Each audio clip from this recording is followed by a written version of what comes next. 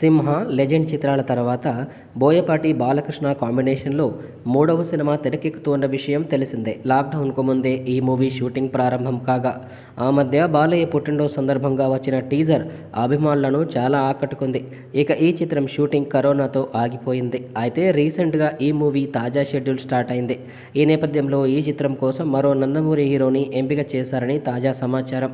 ఆ హీరో మరెవరో కాదు నందమూరి తారక రత్న అని తెలుస్తోంది. ఈ సినిమాలో ఆయన యంగ్ ఎమ్మెల్యేగా కనిపించబోతున్నట్లు చెబుతున్నారు. కొంచెం నెగిటివ్ షేడ్స్ కలిగిన ఈ పాత్ర సినిమాలో హైలైట్ అవుతుందని తారక రత్నకు మళ్ళీ లైమ్ లైట్లోకి తెచ్చే పాత్ర అవుతుందని చెబుతున్నారు. ఇక బీబీ త్రీ వర్కింగ్ టైటిల్తో రూపొందుతూ ఉన్న ఈ సినిమాలో బాలకృష్ణ రెండు విభిన్న పాత్రలో కనిపించనున్నారని వినిపడ వినబడుతోంది. మరోపక్క ఈ సినిమాకు సంబంధించిన టైటిల్ హీరోయిన్ గురించి రకరకాల రూమర్స్ వినిపిస్తున్నాయి.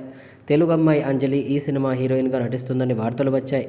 ఇక ఈ సినిమాకు మోనార్క్ అనే టైటిల్ను ఖరారు చేసే విషయంలో యూనిట్ సభ్యులు చర్చలు జరుపుతున్నారు. మోనార్క్ టైటిల్ వల్ల ఖచ్చితంగా సినిమా గురించి జనాల్లో చర్చ జరగడంతో పాటు టైటిల్ చాలా క్యాచీగా ఉంటుందని టీం భావిస్తోందట.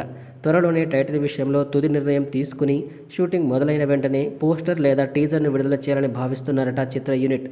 ప్రస్తుతం రామోజీ ఫిలిం సిటీలో గ్రామీణ నేపథ్యంలో వచ్చే కొన్ని సీన్స్ను షూట్ చేయనున్నారు అని సమాచారం. ఈ సినిమాతో ఓ కొత్త హీరోయిన్ పరిచయం చేయబోతున్నారని బోయపాటి చెప్పిన విషయం తెలిసిందే. ఇక మిరియాల రవీందర్ రెడ్డి నిర్మిస్తున్న ఈ సినిమాకు తమన్ సంగీతం అందిస్తూ ఉన్నాడు.